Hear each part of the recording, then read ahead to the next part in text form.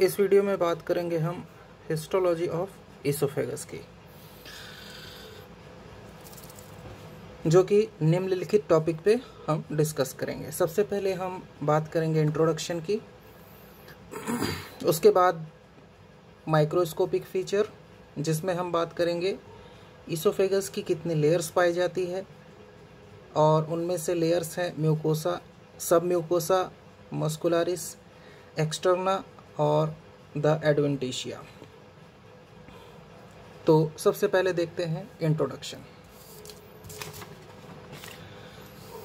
oesophagus the oesophagus is a long muscular tube beginning at the end of cricoid cartilage and open in to the cardiac end of stomach it conduct chewed food and liquid to stomach. इसोफेगस एक 25 centimetre लंबी पेशी नलिका होती है। यह cricoid cartilage के अंत से लेकर कार्डियक एंड तक तथा कार्डियक एंड से स्टमक में जाकर खुलती है। यह चबाए गए भोजन को, अर्थात बोलस को तथा तरल को स्टमक में पहुँचाने का काम करती है। स्टमक के बेसिकली टू पार्ट होते हैं। एक अपर एंड होता है टू एंड होते हैं, एक अपर एंड एक लोअर एंड और ये जिस, इसमें दो इंस्पेक्टर भी पाए जाते हैं, जिसको ऊपर वाले इंस्पेक्टर को क्रिकोफेरेंजियल इंस्पेक्टर और ऐसा इंस्पेक्टर जो in between stomach and oesophagus पाया जाता है, उसको बोलते हैं इसोफेजियल इंस्पेक्टर इसकी शुरुआत इसोफेगस की सी सिक्स के लेवल से शुरू होती है और नीचे आने के बाद यह टी टेन पर, यानी कि थोरेसिक वर्टिब्रा टेन के लेवल पर डायफ्राम को पियर्स करते हुए टी इलेवन के लेवल पर स्टमक में जाकर खुल जाती है। इसके बाद हम देखते हैं इसके माइक्रोस्कोपिक स्ट्रक्चर पर।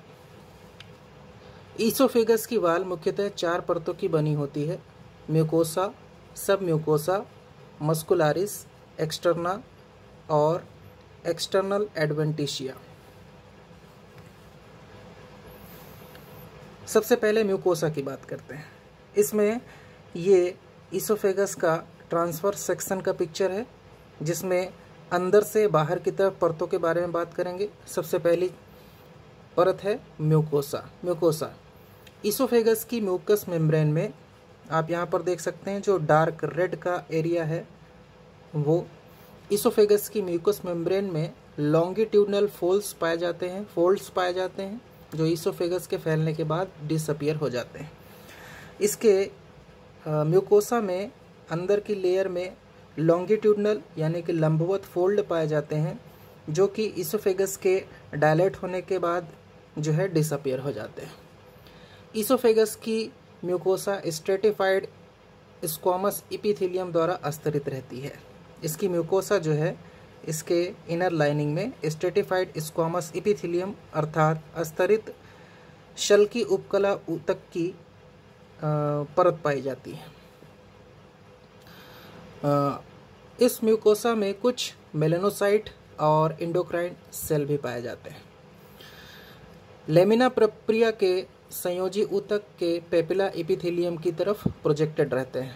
इसमें जो लेमिना प्रोप्रिया है, उसके पेपिला इपिथेलियम की तरफ़ प्रोजेक्टेड रहते हैं। इसोफेगस के अपर एंड और लोअर एंड में अपर एंड और लोअर एंड में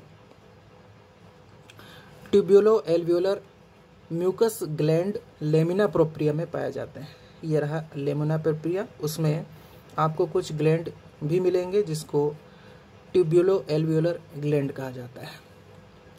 अपर इंड ऑफ़ इसोफेगस में मस्कुलारिस म्यूकोसा नहीं पाई जाती है। मस्कुलारिस म्यूकोसा जो आपको एक डैश डैश करके रेड लाइन में दिखाई दे रही है, ये अपर एंड में नहीं पाई जाती है। या कहना चाहिए कि बहुत ही कम पाई जाती है, या बहुत ही कम डेवलप होती है। जबकि इसोफेगस के लोअर पार्ट में या लोअर एंड में इसकी थिकनेस ज़्यादा होती है। अब दूसरे परत की बात करते हैं, जिसको कहते हैं सब इसोफेगस की सम्योकोसा की परत सबसे महत्वपूर्ण संरचना ईसोफेगस की सम्यूकोसा परत में सबसे महत्वपूर्ण संरचना ट्यूब्यूलो एल्वियोलर म्यूकस ग्लैंड होती है। ये आप देख सकते हैं, ये पूरी ग्रे कलर की ग्रे कलर का एरिया जो है पूरा का पूरा सम्यूकोसा है। इसमें ट्यूब्यूलो एल्वियोलर ग्लैंड भी पाए जाते हैं। कुछ ब्लड वेसल्स आपको दिख रहे होंगे बीच बीच में। इसमें ब्लड वेसल्स भी होते हैं। और साथ ही साथ सब म्यूकोसा में छोटे छोटे समूह में लिम्फॉइड टिश्यू भी पाए जाते हैं तथा इसमें प्लाज्मा सेल और मैक्रोफेज जैसे कि मोनोसाइट भी उपस्थित होते हैं। तीसरी लेयर की बात करें मस्कुलारिस एक्सटर्ना की। आपको यहाँ पर ऑरेंज कलर की एक पट्टी दिख रही है। ये लेयर है मस्कुलारिस एक्सटर्ना ईसोफेगस की यह परत सर्कुलर तथा लॉन्गिट्यूडनल दोनों फ़ैशन में पाई जाती है। तथा यह पेशियों के पेशी तंतु कुछ रेखित तथा कुछ चिकने होते हैं। यानी कि इस मस्कुलरिस एक्सटर्ना में जो मसल फाइबर है मसल की मसल फाइबर है तो कुछ स्ट्रेटेड होती है, कुछ स्मूथ होती है, अर्थात रेखित होती है और रेखित होती है, यानी चिकनी होती है। अगर हम ईसोफेगस के तीन भाग करें, अगर हम ईसोफेगस के तीन भाग कर देते हैं, upper one third middle one third और लोअर वन थर्ड तो हमको अपर वन थर्ड में अपर वन थर्ड यानी कि ऊपरी एक तिहाई भाग में मसल फाइबर्स इसके, पेशी तंतु इसके स्ट्रेटेड होंगे, यानी कि रेखित पाए जाएँगे। लोअर वन थर्ड में अगर हम देखें तो यहाँ पर जो मसल्स फाइबर होते हैं, वो स्मूथ होते हैं। और मिडिल वन थर्ड की बात करें, यानी कि मध्य एक तिहाई भाग भाग की बात करें तो यहाँ पर हमको मसल फाइबर जो है, वो स्ट्रेटेड भी मिलेंगी और स्मूथ भी मिलेंगी।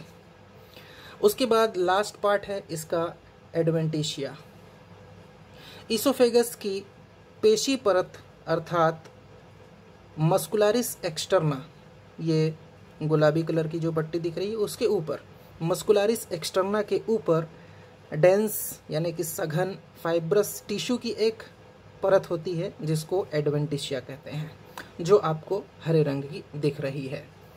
जबकि ईसोफेगस की लोअर एंड में जहाँ ईसोफेगस डायाफ्राम के नीचे पाया जाता है यहाँ पर कार्डियक नोच के पास ये है डायाफ्राम समझ लीजिए। तो इस भाग पर। जबकि ईसोफेगस की लोअर एंड में जहाँ ईसोफेगस डायाफ्राम के नीचे पाया जाता है, वहाँ ईसोफेगस पर पेरिटोनियम की परत होती है। जबकि इस डायाफ्राम के ऊपर पूरी की पूरी जो ईसोफेगस की मस्कुलेचर है, उसके ऊपर एडवेंटिशिया की परत पाई जाती है। it is all about all about the histology of esophagus. Thank you.